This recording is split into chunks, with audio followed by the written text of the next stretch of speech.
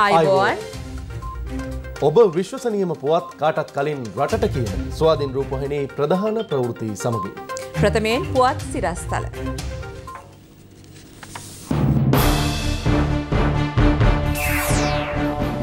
මුස්ලිම් අන්තවාදයට අපේ ආණ්ඩුවෙන් මොනම ඉඩක්වත් නැහැ. ඇමති විමල් කියයි. මාතර වාණිජ්‍ය සංචාරක නගරයක් කොට කොටවිල පරිපාලන නගරය කරන්න අගමැතිගෙන් සැලසුම්.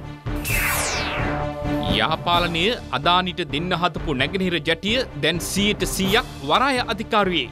ඇමති ගම්මම් පිල කියයි. හාල් හිඟයක් ආවොත් පිටරටින් හරි හාල් ගේන්න ආණ්ඩුව සූදානමින්. පෝලීය අවධානමට අවුරුද්දයි. එන්නත් මිලියන විස්සක් නොමිලේම බෙදයි.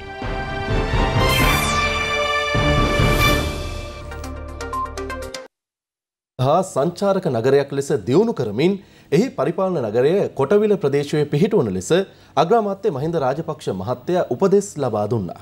මාතර නව නගරය ඇතුළු නාගරික සංවර්ධන අධිකාරිය ක්‍රියාත්මක කරන ව්‍යාපෘතිවල ගැටලු සම්බන්ධයෙන් සාකච්ඡා කිරීම සඳහා පැවති හමුවකදී අග්‍රාමාත්‍යවරයා මෙම උපදෙස් ලබා දුන්නේ.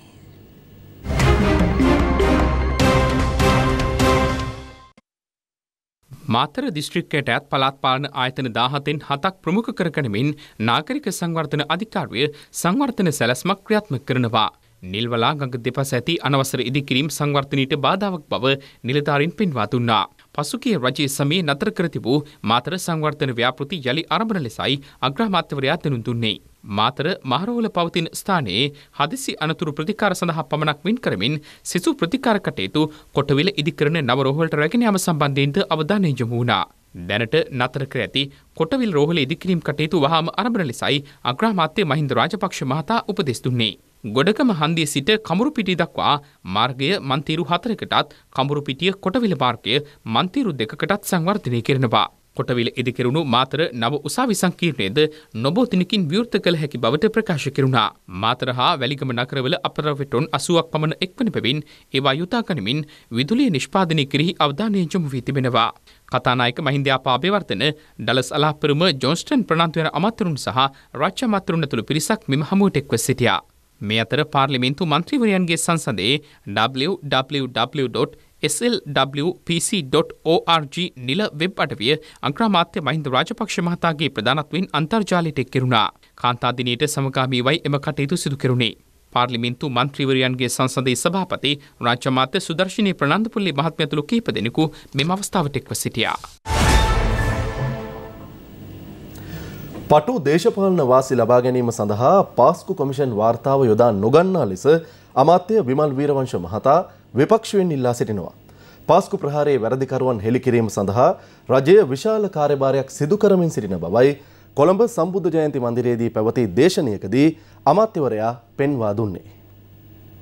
ජනාධිපති කොමිෂන් සභාව පීඨවලයේ වාර්තාව දැන් නිකුත් වෙලා තියෙනවා. වසර දෙකක් සම්පූර්ණ වීමට නියමිතව තිබියදී අපරාධ නීතිය ක්‍රියාත්මක වීම තවමත් සිදු වී අවසන් වූ කාර්යයක් බවට පත් වෙලා තිබෙනවා. ද මේ වගේ ම්ලේච්ඡ ප්‍රහාරයකට අදාළව ඕනෑම ජන සමාජයක් යුක්තිය පසිඳලීම බලාපොරොත්තු වෙනවා ප්‍රමාණවත් කාලයක් තුළ. ඒ නිසාම ඉබිගමනින් සිදුවෙන යුක්තිය පසිඳලීමේ ක්‍රියාදාමය පවා ප්‍රයෝජනවත් නැති දෙයක් හැටියට සලකන්න පටන් ගන්නවා. ඒගේ වාසිය මෙවැනි ප්‍රහාර පිටුපස සිටින මහබොලකරුවන්ට මිස වෙන කාටවත් ලැබෙන්නේ නැහැ. පාස්කු ප්‍රහාරය පිළිබඳව එක පිටිපස්සේ ඉන්න අන්තවාදී දේශපාලන බලව්‍යාපෘතිය පිළිබඳව රුෂාන් බදුන්දීන්ලට අසා සල්ලට ඒකත් එක්ක තියෙන දේශපාලන සබැදියාව පිළිබඳව ඒ අන්තවාදය හුරතල් කරපු කල්ලි කණ්ඩායම් සියලුම දෙනාට එරෙහිව නීතිය බලාත්මක කෙරෙනකන් අපේ සමාජයේ සෑහීමකට පත් වෙන්නේ නැහැ. මේ ආණ්ඩුව ඇතුළත් ඉන්නවා ඉස්ලාම් අන්තවාදයත් එක්ක අනාගතයේ හරි දීග කන්න වෙයි කියලා හිතාගෙන වැඩ කරන උදවිය. ඉස්ලාම් අන්තවාදය එක්ක දීග කන්න බලාගෙන ඉන්න ඒ දේශපාලන තක්කඩියෝ එක්තරා ආකාරයකට මේ අන්තවාදය නිරාවරණය කරලා විවෘත කරලා රිෂාඩ් බදුර්දීන්ලව නියම ස්වරූපයෙන් සමාජය හමුවේ නිරාවරණය කරන එක වළක්වලා තියෙනවා. මේ කොමිසන් සභා වාර්තාවල් ඇතුලේ හිර වෙන්නේ නැතුව අපරාධ පරීක්ෂණ දෙපාර්තමේන්තුව පොලිසිය මේ අපරාධය සහ අපරාධයේ වග උත්තරකාරයන් සැබෑ වග උත්තරකාරයන් පසුපස ගොස් දඬුවම් ලබා දී මේ අන්තවාදයට වැඩෙන්න තියෙන පරිසරය නැති කරන තැන දක්වා මේක ගෙනියන්න ඕනේ.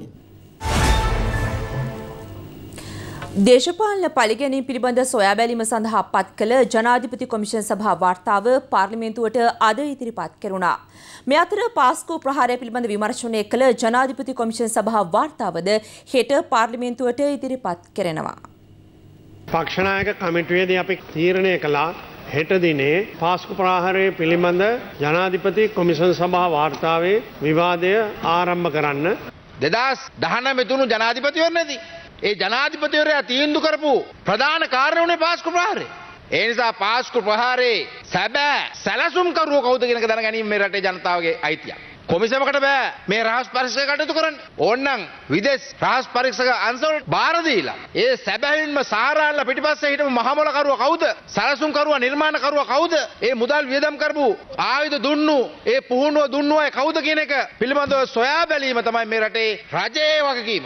සහල් ප්‍රශ්නය පිළිබඳ ඉතා දීර්ඝ වශයෙන් සාකච්ඡා කරලා තියෙනවා. අපි සාතිකයක් දෙනවා මොන මිනට කවුරු සහල් ගත්තත් රුපියල් 100ට වඩා අඩු මිනට නාඩු සහල් සහ සම්බසහල් ලබාදීමේ ප්‍රතිපත්තියේ කිසිම වෙනසක් රජය කරන්නේ ඉතා විශාල ලෙස මේවා හංගලා තියෙරි වෙරලා හාල් හිඟියක් ඇති කරන්න හැදුවොත් අකමැත්තෙන් හරි හාල් තොගයක් ආරක්ෂිත තොගේ වශයෙන් අපි ආනයනය කරන්න බලාපොරොත්තු වෙනවා. විවිධ ප්‍රදේශවල ට්‍රන්ස්ෆෝර්මර්ස් 33000ක් තියෙනවා. මේන් ධාරිතාවය සහිත ට්‍රන්ස්ෆෝර්මර් 7000ක් අඳුරගෙන තියෙනවා. මේ 7000 ආශ්‍රිත මීටර් 400ක සීමාවක් ඇතුලේ එක බලාගාරයක ජනන ශක්තිය කිලෝවෝට් 100ක් බවට පත් වෙලා තියෙනවා. මේකේ අවසාන ඉලක්කය කුඩා විදුලි බලාගාර 7000ක් රට වටේ. මේන් අපේක්ෂිත ධාරිතාවය මෙගාවොට් 700ක්. ඉතා ඉහළ අගයක් පුනර්ජනීය බල ශක්ති සම්බන්ධයෙන්. ඊට අමතරව අපේ සමෘද්ධි පවුල් බලගැන්වීම එක පැත්තකින් අරමුණු කරගෙන පවුල් ලක්ෂයකට දවසකට අවම වශයෙන් කිලෝට් පහක ජනනයක් ලබා දීමට බලාපොරොත්තුවෙන්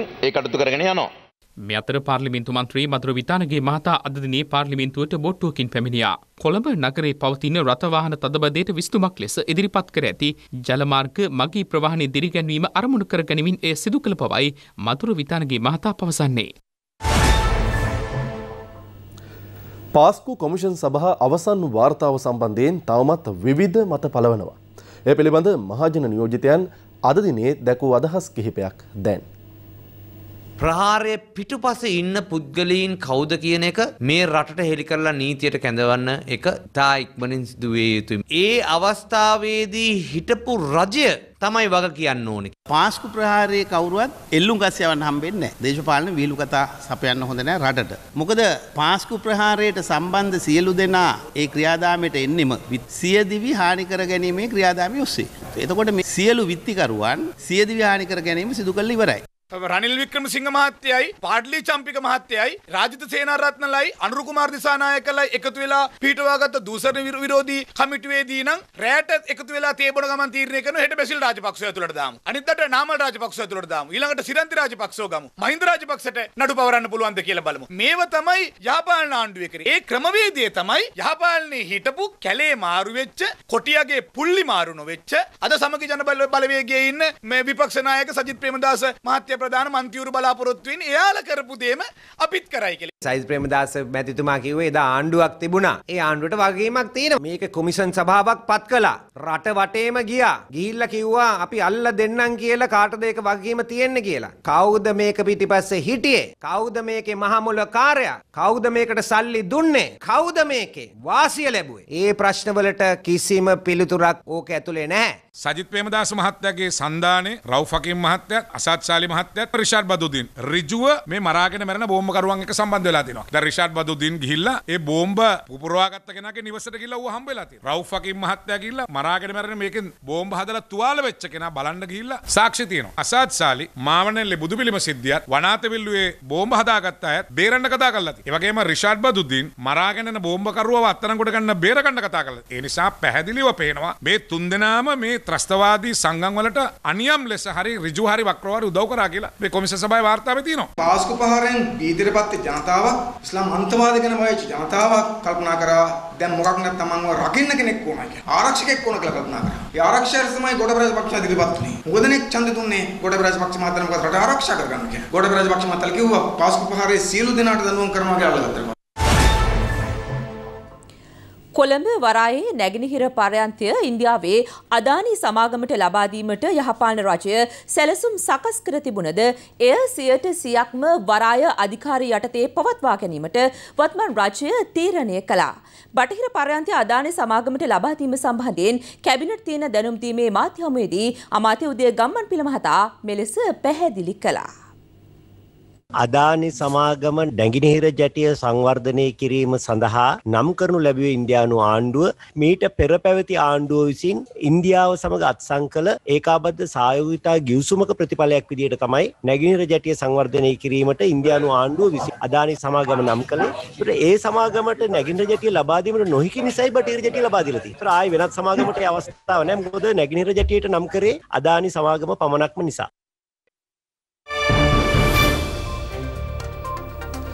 අද දිනේ කොරෝනා මරණ හතරක් වාර්තාවීමත් සමග මියගිය සමස්ත සංඛ්‍යාව පන්සිය එකොළහ දක්වා ඉහළ ගියා. අද මේ වන විට ආසාධිතයන් එකසිය පනස් පස් දෙනෙකු හඳුනා ගනිද්දී දෙසිය හතලිස් දෙනෙකු සුවය ලබලා නිවෙස් වෙත පිටව ගියා. ඒවගේම සහන් එන්නත ලබාතීමේදී දේශපාලන බලපෑම් මත එය සිදු කියන බවට වන ප්‍රචාර අසත්‍ය බව අවධාරණය කෙරෙනවා.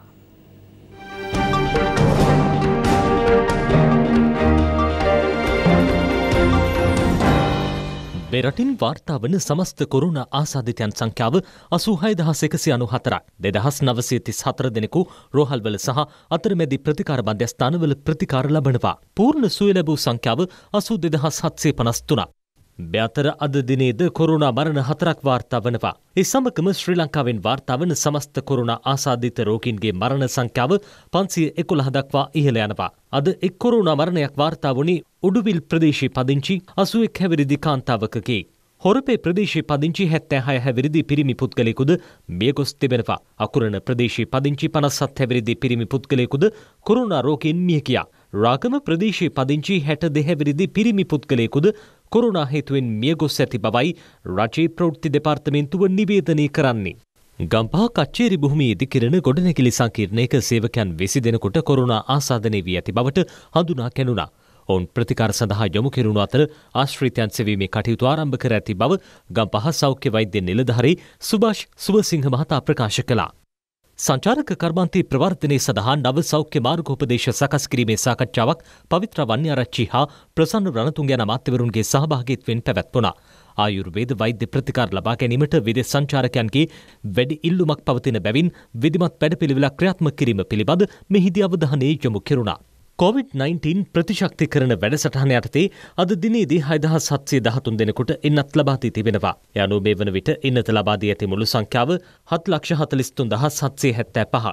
කොරුණා එන්නත ලබාදීම සම්බන්ධයෙන් දේශපාලන බලපෑම් සිදුවන බවට එල්ලවන චෝදනා සම්බන්ධයෙන් කැබිනට් තීරණ දැනුම්දීමේ මාධ්‍ය හමුවේදී ප්‍රශ්න කෙරුණා. අපි රජය බොහම පැහැදිලිව එය ප්‍රතික්ෂේප කරනවා. සහ වැනි කිසිම කටයුතු ඉඩක් නැමැති බවත් එම වැඩසටහන ක්‍රියාත්ම කිරීමේ සම්පූර්ණ බලය සෞඛ්‍යමාත්‍යංශ අධීක්ෂණයේ යටතේ මහජන සෞඛ්‍ය පරීක්ෂකවරුන් සහ සෞඛ්‍ය වෛද්‍ය නිලධාරීවරුන් අතුරු කාර්ය මණ්ඩල මගින් සිදු කරනවා. විශේෂයෙන් මේ සම්බන්ධයෙන් පැමිණිලි තිබෙනවා නම් ඒ පිළිබඳව කටයුතු කිරීමට අපට හැකියාවක් තිබෙනවත් අපි ප්‍රකාශ කරනවා. ඉන්දියාවේ සීරම් ආයතනෙන් ඇස්ට්‍රාසෙනකා එන්නත ඉදිරියේදී ලබා ගන්නා ආකාරය සම්බන්ධයෙන්ද පැහැදිලි කෙරුණා. ඉන්දියාවෙන් ගෙන්නන එන්නත් ප්‍රමාදවීම සම්බන්ධයෙන් දැඩි කතාබහක් ඇති වෙලා තියෙනවා. ඇත්තටම අනෙකුත් රටවලට සාපේක්ෂව ශ්‍රී ලංකාවට දැනට ලැබී තිබෙන එන්නත් ප්‍රමාණය ගැනත් අපි සතුටට පත්විය යුතුයි. දැනටමත් එන්නත එකම මාත්‍රාවක්වත් ලැබිල නැති රටවල් එකසේ දහකට වැඩි ප්‍රමාණයක් ලෝකෙ තිබෙනවා. අපිට එන්නත් මිලියන එකයි දසම දෙකයි හයක ප්‍රමාණයක් දැනට ලැබිලා තිබෙනවා.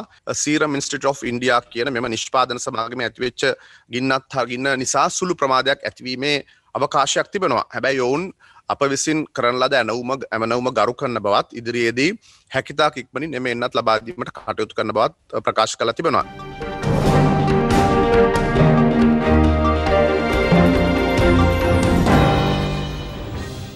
මෙන්න දැන් ලැබුණු පුවතක්. අද දිනේ තවත් කොරෝන ආසාධිතයෙන් එකසිය තිස් තුන් දෙනෙකු හඳුනාගෙන තිබෙනවා. යනුව මෙරටින් වාර්තා වන සමස්ත කොරෝන ආසාධිතින් සංඛ්‍යාව අසූ හයදහස් තුන්සිය විසි හතක් දක්වා ඉහළ ගියා. මුල් ළමාවිය සංවර්ධන මධ්‍යස්ථාන සහ පෙරපාසල් නියාමනය සඳහා ජාතික කමිටුවක් පත් කෙරෙනවා.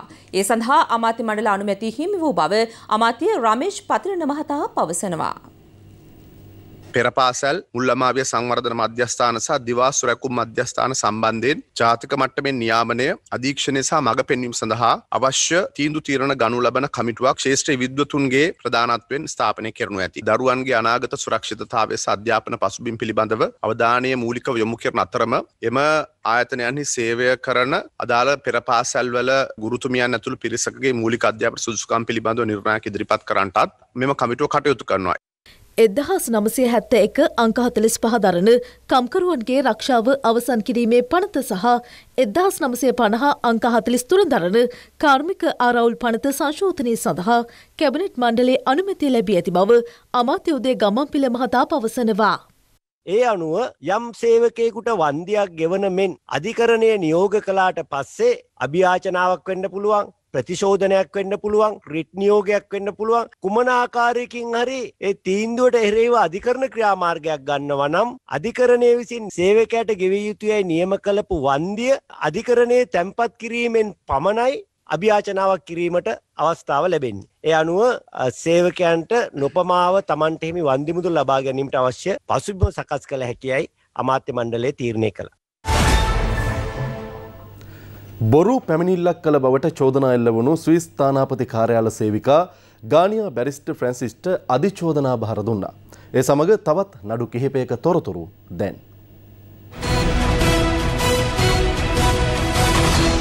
කිසියම් පිරිසක් තමන් පැහරගෙන ගොස් ලිංගික හිරිහර කර බවට අසත්‍ය පැමිණිල්ලක් සිදු කළ බවට සුසලන්ත කාර්යාල සේවකා ගානියා බැරිස්ටට චෝදනා එල්ල වී තිබුණා. ඇයට අධිචෝදනා පත්‍ර බාර දුන්නේ කොළඹ මහාධිකරණය හමුවේ. විත්තිකාරිය පෙර අපමත මුදාහරි අධිකරණය නඩුව ජූනි මාස 4 වනදා කැඳවීමට නියෝග කළා. 2019 වසරේ සැකකාරිය අපරාධ පරීක්ෂණ දෙපාර්තමේන්තුව වෙත මෙම පැමිණිල්ල සිදු කළ බවට චෝදනා කරමින් නීතිපතිවරයායි නඩුව ගුණ කර තිබෙන්නේ. දේශපාලන පලිගලින් පිළිබඳ සොයබලෝ ජනාධිපති කොමිසමේ නිර්දේශ බල රහිත කරන ලෙස ඉල්ලා සමගි ජනබලවේගේ සභාපති පාර්ලිමේන්තු මන්ත්‍රී ෆිල් මාෂල් සරත් පොන්සේකා මහතා අභ්‍යාචනාධිකරණයට රීත් පෙත්සමක් ඉදිරිපත් කළා. මෙම කොමිසම විභාග කළ පැමිණිලි කීපයක් සම්බන්ධයෙන් තමන්ද වගකිව යුතු පුද්ගලෙකු බවට නම් කර ඇති බවයි සරත් ෆොන්සේකා මහතා පවසන්නේ. එම නිර්දේශ බල රහිත කිරීමේ රීට් ආඥාවක් නිකුත් කන ලෙස ඔහු ඉල්ලා සිටිනවා. මේ අතර දේශපාලන පලිගලින් පිළිබඳ සොයා බැලූ කොමිසම තමන්ට එරෙහිව කර ඇති නිර්දේශ බල රහිත කරන ලෙස ඉල්ලමින් හිටපු අග්‍රාමාත්‍ය ලේකම් HMSB ඒකනායක මහතාද අධිකරණයට මූලික අයිතිවාසිකම් පෙත්සමක් ඉදිරිපත් කර තිබෙනවා. බාල වයස්කාර දැරියකට ලිංගික අතරව කිරීමේ චෝදනාවට වරදකර කෙරුණු දෙදරුපියෙකුට කොළඹ මහාධිකරණය බරපතල වැඩ සහිත වසර 34ක සිරදඬුවම් නියම කළා. ඊට අමතරව රුපියල් දසදහසක දඩයක් සහ අදාළ දැරියට රුපියල් ලක්ෂ දෙකක වන්දියක් ගෙවන ලෙසද නියෝග කෙරුණා. තරඟකාරී මිලට වී මිලදී ගැනීමේ වැඩපිළිවෙල රජය මේ වන විටත් ආරම්භ කරලා තියෙනවා. ඒ තුළින් රජය සතුව වී සංචිත පවත්වා කනමින් පාරිභෝගිකයා සහ ගොවියා ආරක්ෂා කිරීම සඳහා දැවන්ත මෙහිුමක් ආරම්භ කර ඇති බව අමාත්‍ය මහින්දානන්ද අලුත්කමගේ මහතා පවසනවා. කොළඹ පැවති මාධ්‍ය හමුවකදී ඒ මහතා මේ බව ප්‍රකාශ කළේ. දැන් අපි වී කිලෝවක් සඳහා රුපියල් 50ක සාතික මිලක් අපි ලබා දීලා තියෙනවා. හැබැයි අද හාල් කිලෝ එක ගත්තාම අද 120ට හාල් විකුණනවා. දැන් වෙලා තියෙන්නේ ගොවියා විකුණලා තියෙන මේ වී කිලෝ එකක රුපියල් 50යි නැත්නම් 51යි. ඒතර රුපියල් 51ට 52කට වී වික්කනම් අනිවාර්ය රුපියල් 97ට ලාභය තියාගෙන විකුණන්න පුළුවන් වී මොල් හිමියන්ට සහ වෙලෙන්දට. හැබැයි 120ක වගේ අධික මිලක් එක හාල් කිලෝ එකකින් රුපියල් 15කට වැඩි අධික ලාභයක් ලබන තත්වයකට අද පත් වෙලා තියෙනවා. ඒ නිසා ජනාධිපතිතුමා මේ පිළිබඳ දැඩි තීන්දුවක් ගන්න ආණ්ඩුව තීරණය කරා මේ අතර මැදියගෙන් ගොවියත් පාරිභෝගිකත් බේරගන්න වැඩපිළිවෙලක්. මාර්තු මාසේ 8 වෙනිදා ඉඳලා අප්‍රේල් මාසේ 7 වෙනිදා දක්වා මාසයක් අපි දින නම් කරා. වී මිලදී ගැනීමේ ජාතික ක්‍රියාන්විතය කියලා. වීඇලේ මණ්ඩලය අපි හැම ප්‍රාදේශීය කළමනාකරුවෙකුටම හැමදාම උදේට ලක්ෂ 50ක මුදලක් දෙනවා. ගොවියගේ කුඹුරටම ගිහිල්ලා, ගෙදරටම ගිහිල්ලා සල්ලි දීලා වී මිලදී ගැනීමේ වැඩසටහනක් අපි ආරම්භ කරා. දැන් අද වෙනකොට අපි වී කිලෝ ලක්ෂ 50 මේ වෙනකොට වීඇලේ මණ්ඩලය අපට ලැබිලා තියෙනවා. අපි මෙට්‍රික් ටන් ලක්ෂ 3ක සංචිතය තබා ගන්න තමයි අපි මේ උත්සාහ කරන්නේ. අපි බලාපොරොත්තු වෙන රුපියල් 55ට වී මිලදී ගත්තත් 97ට හාල් අපි විකුණන්න බලාපොරොත්තු වෙනවා. ඒක යම් පාඩුවක් වුණොත් රජයක විඳ දරා ගන්න බලාපොරොත්තු වෙනවා. මදුනිකා ගෑස් සමාගම් පාරිභෝගකයට වෙටින් විට ගෑස් පෙන්වන එක හැම කාලෙකදීම දකින්න ලැබෙන දෙයක්. ආයිත් ගෑස් සමාගම් මිල ඉහළ දාන්න ඕනි කියලා යෝජනා කරලා. හැබැයි සහන් ආණ්ඩුව ඉල්ලීම ගැන කිසිදු අවධානයක් යොමු කරලා නැහැ කියලා කැබිනට් තීන්දුව ගැන දැනුම් දෙති උදය ගම්මන්පිල ඇමතිවරයා අද මාධ්‍යයට කිව්වා. කිලෝග්‍රෑම් දොලායි දශම පහ ගෘහස්ත ගෑස් සිලින්ඩරයක් අලෙවි කරන්නේ රුපියල් එක්දහස් හාරසී අනුතුනකටයි. ලෝක වෙළඳපොලේ ගෑස් මිල විශාල වශයෙන් ඉහළ යාමක් සිදු ඇති බව මෙරට ගෑස් සමාගම් පෙන්වා දෙනවා. ඒ හේතුවෙන් ගෑස් සිලින්ඩරයක මිල රුපියල් දෙදහස් එකසි හතලිස් අටක් දක්වා රුපියල් හත්සියකින් පමණ ඉහළ නැංවීම සිදු කරන ලෙසටයි ගෑස් සමාගම් ඉල්ලා සිටින්නේ.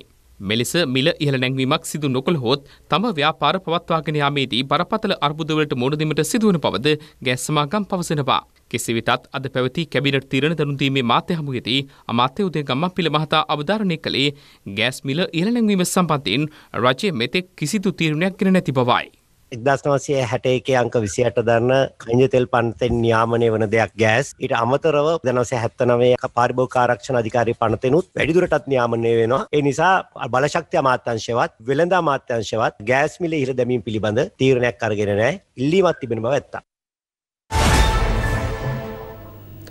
නිවස ළඟටම විදුලිය ඇවිල්ලත් තවමත් සම්බන්ධතාව ලබා ගැනීමට නොහැකිව තියෙන නිවාසවලට සිංහල අලුත් අවුරුද්දට කලින් රජයේ වියදමින් විදුලිය ලබා දෙන්න කටයුතු කරනවා කියලා දුමින්ද දිසානායක රාජ්‍ය අමාත්‍යතුමා කියනවා. අනුරාධපුර ඉපලෝගම පල්ලේකාගම් වැවේ ප්‍රතිසංස්කරණ කටයුතු ආරම්භ කිරීමේ උත්සවයට එක් වෙමිනුයි රාජ්‍ය අමාත්‍යවරයා මේ බව කියා සිටියේ. තමන්ගේ ගමට තමන්ගේ ගේ ඉස්සරහට විදුලිය ඇවිල්ලා කනෙක්ෂන් එක ගන්න බැරි කවුරු හරි ඉන්නවනම් සිංහල අවුරුද්දට කලින් මේ සියලු දෙනාටම නොමිලේ අපි විදුලිය ලබා දෙනවා. සම්බන්ධ කිරීම සඳහා යන රුපියල් 15000 අපි අය කරන්නේ ඉතින් මේ සඳහා අපි ප්‍රතිපත්තිමය තීන්දුවක් කරන් තියෙනවා දැන් අපිට යනවා මිලියන 1500ක් පමණ අපි මේ රටේ ජනතාවගේ මූලික අයිතියක් විදිහට විදුලිය දැන් පිළිගන්නවා. වාරි සෞභාග්‍යා වැඩසටාන යටතේ පල්ලේකාගම් වැව ප්‍රතිසංස්කරණය කෙරෙන්නේ. දීර්ඝ කාලයක් තිස්සේ ප්‍රතිසංස්කරණය කර නොමැති මෙම වැව ප්‍රතිසංස්කරණය කිරීම තුළින් විශාල පිරිසකට සිත සැලසෙනවා. මෙත සඳහා වැය කෙරෙන මුදල රුපියල් මිලියන 18ක්. මහා සංඝරත්නය සහ ගොවි සංවිධාන නියෝජිතයන් ඇතුළු පිරිසක් මෙම අවස්ථාවට එක්ව සිටියා. දිවංගත ආචාර්ය WD අමරදේවයන්ගේ බිරිඳ විමලා අමරදේව මහත්මියගේ දේහය පිළිබඳ අවසන් කටයුතු අද සිදු කෙරුණා. විමලා අමරදේව මහත්මිය නර්තන ශිල්පිනියක් මෙන්ම ගායකාවක් ලෙසද දක්ෂතා පෙන්නුම් කළා. අමරදේවයන්ගේ කලා ජීවිතය තුළ අකණ්ඩ සෙවනැල්ලක් ලෙස සිටිමින් ඇය ඉටු කළ මෙහි අතිවිශාලයි. ඇය මෙරට පළමු රාජ්‍ය නැටුම් කණ්ඩායමේ සාමාජිකාවක දුනා. දෑතේ කරකට සිඹ සනසන්නට ගීතයට අමරදේවයන් සමග යුගගායනයෙන් එක් වූයේද විමලා අමරදේව මහත්මියයි. කරගට සිඹ සනසන්න විමලා අමරදේව මහත්මියගේ දේහය තැන්පත් කර තිබූ බොරැල්ල මල්ශාලාවේදී ආගමික වතාවත් සිදු කිරීමෙන් අනතුරුව දේහය බොරැල්ල කනත්ත වෙත රැගෙනු ලැබූවා. එහිදී අවසන් කටයුතු සිදු කරනු අවස්ථාවට කලාකරුවන් ඇතුළු විශාල පිරිසක් එක්ව සිටියා. ඒ සමගින් ස්වාධීන් රූපහනී රාත්‍රී නවයයිතිහ ප්‍රධාන ප්‍රවෘති අවසන්. ඔබට සුභරාත්‍රයක්. ආයිබෝවන්